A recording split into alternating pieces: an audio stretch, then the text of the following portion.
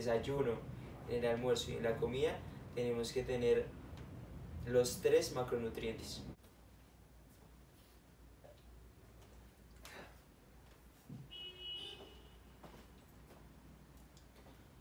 Bueno, listo. Bueno, bueno, comenzamos. Hoy estoy en la cocina, hoy toca un poquito de alimentación y voy a aclarar lo principal, que son los macros. Entonces, ¿qué son los macronutrientes? Los alimentos que conforman en mayor medida nuestra alimentación y se dividen en tres grupos que son las proteínas, las grasas y los carbohidratos. Esos son los macronutrientes. Y todos los tenemos que consumir y a ninguno tenemos que tenerle miedo. Y bueno, comencemos por la proteína. ¿Qué son las proteínas? Las proteínas eh, se dividen en dos grupos, las de origen animal y las de origen vegetal. Las de origen animal tienen toda la cadena de aminoácidos completa, entonces es una muy buena opción. ¿Y cuáles podrían ser ejemplos de proteína animal? El salmón, el pollo, el pescado, eh, la carne de cerdo, la carne de res, eh, los huevos, esa es la mejor. Y de proteína vegetal es la espirulina, las algas, casi todas las algas tienen buena fuente de proteína, eh, las legumbres tienen un buen porcentaje de proteína en su composición. Una cosa a destacar de las proteínas vegetales es no tienen la cadena de aminoácidos completa. ¿Qué quiere decir eso? Que para completar los requerimientos eh, nutricionales, para que eh, esa proteína nos sirva en nuestro cuerpo, tenemos que consumir mucha más variedad de alimentos. Es decir, no podemos comer al almuerzo solamente frijoles, porque no vamos a completar la cadena de aminoácidos. Tenemos que comer además lentejas, espirulina, champiñones, tenemos que meterle muchas más fuentes de proteína vegetal para completar esa, ese requerimiento proteico diario. Entonces eso es algo a destacar que es demasiado importante. Bueno, está la whey protein, que es un alimento más, no es algo que solamente las personas que entrenan. ¡Serás más fuerte! Cualquier persona debería tomarla. Las personas mayores, a, a las que más les beneficiaría porque les permite mantener su masa muscular y no ser esos viejitos eh, como todos delgaditos, ¿sí? La masa muscular es muy importante y es muy interesante mantenerla, si no se va a aumentar, por lo menos mantenerla. Bueno, las grasas.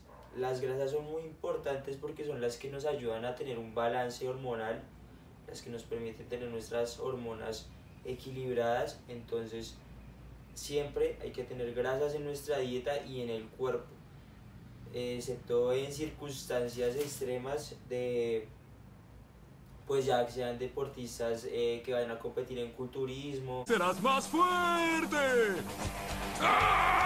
Que necesitan tener un porcentaje de grasa mínimo, pues sí tienen que bajar ese porcentaje de graso, pero siempre es eh, por un periodo corto de tiempo y pues para personas muy específicas, por decirlo así. La mayoría de nosotros no va a competir, entonces siempre tenemos que tener algo de grasa en el cuerpo y siempre tenemos que consumir grasas. Como ejemplo tenemos de grasas están los frutos secos como tal. En este caso acá tengo almendras, que también tiene un poquito de proteína vegetal está el queso, tiene grasas saturadas también, que también son necesarias para el cuerpo, y el aceitico de coco tiene buena resistencia al calor, entonces es de las mejores opciones para cocinar, junto con el aceite de aguacate, el aguacate también es una muy buena fuente de grasa, siempre todos deberíamos consumir aguacate.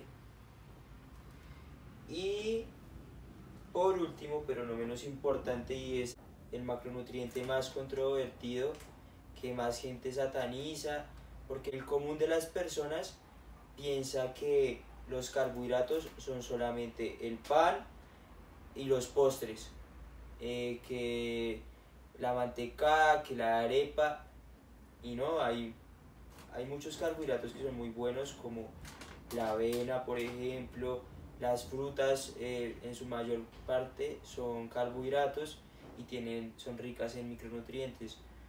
Eh, eh, los, las fuentes de proteína vegetal como los frijoles, las lentejas, pues aunque tienen proteína también tienen carbohidrato. Entonces son buenas fuentes, el arroz, que nos van a permitir estar saciados, tener los depósitos de glucógeno arriba, lo que quiere decir que vamos a tener más energía.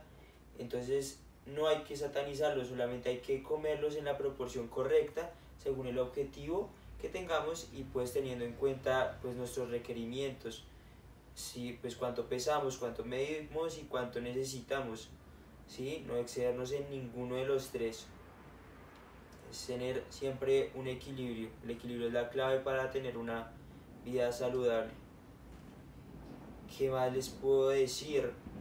Em, bueno, no, ya saben los tres grupos, saben más o menos eh, cuáles son los alimentos que tiene cada grupo alimenticio y ya cuando salgan a comer con una, con una chica o bueno, si son chicas a comer con un chico o bueno, salgan a comer con alguien ya le pueden decir de qué se compone el plato que está comiendo.